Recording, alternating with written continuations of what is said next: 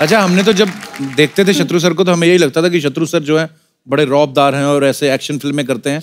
पर आज उनकी बातें सुन के लग रहा है कि कितने रोमांटिक हैं शत्रु सर। बिल्कुल। तो मैम आपको लेके जाते थे कभी कैंडल लाइट डिनर पे और ये ऐसे क्या बोलूँ?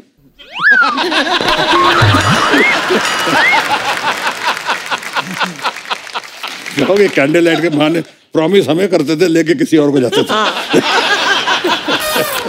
इसलिए मैंने पूछा क्या बोलूँ? पूनम मैम मैं यही पूछना चाहता था कि शत्रु सर की जो फीमेल फ़ैन फॉलोइंग थी तो आपको कभी ऐसा नहीं होता था कि यार क्यों इतना ऑटोग्राफ ले रही हैं क्यों आ रही हैं? आपको कभी टेंशन नहीं होती थी मैम नहीं नहीं बिल्कुल नहीं। अपने आप पे कॉन्फिडेंस था। क्या बात है। ये अभी ये कह रहे हैं मुझे अपने आप पे कॉन्फिडेंस था और अंदर से इधर आवाज़ मालूम है क्या आई? जो आपके घर से कई बार आती है हूँ। तू कार चल।